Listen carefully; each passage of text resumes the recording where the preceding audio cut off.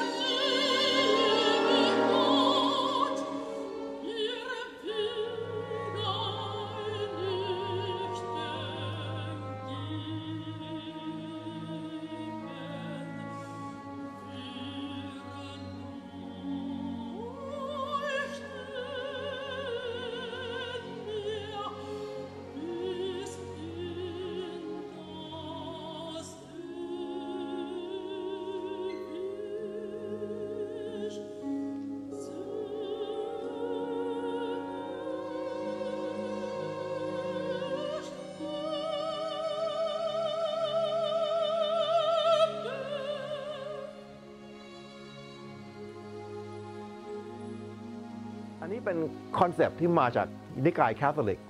แต่ว่ามาเลอร์ไม่ได้เกิดมาเป็นแคทอลิกนะครับ มาเลอร์เกิดในในครอบครัวที่เป็นยิว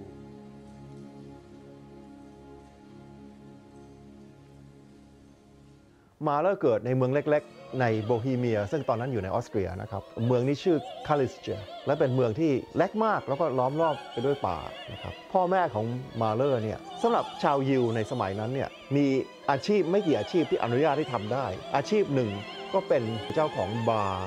โรงเหล้าโรงเบียร์อะไรเงี้ยครับพ่อของมาเลอร์ก็เป็นเจ้าของเอ่อ